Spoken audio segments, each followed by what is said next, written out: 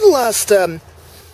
uh, 70 years or so, the American government has been spending more than it has been taking in, in taxes, particularly after the last 30 years when uh, the, uh, the government under uh, Reagan uh, cut taxes drastically and increased military spending even more than the, uh, than the Cold War levels prior to Reagan ascending to office. And those, that military spending has largely not gone down, whereas the tax cuts have remained permanent and each successive president, uh, particularly the Republicans, have been cutting taxes, particularly on, on the wealthy, uh, more and more and more.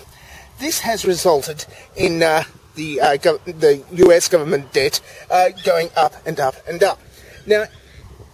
but the uh, debt limit that they have to borrow um, is set. However, the uh, Congress uh, can raise this debt limit and, and therefore borrow more and more and more money. Now, this has usually been more of a kabuki dance where, uh,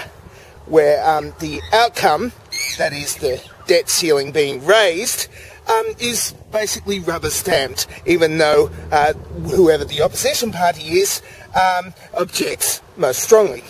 However, what's been happening this time, um, the, uh, the, the Bukkake dance has been uh, um, somewhat uh, changed because the Tea Partiers who have um, who uh, have uh, control of the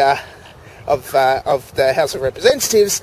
they um, have been blocking it even though to default would mean that a whole bunch of banks who hold all these treasury bills um, would uh, have a lot of financial problems.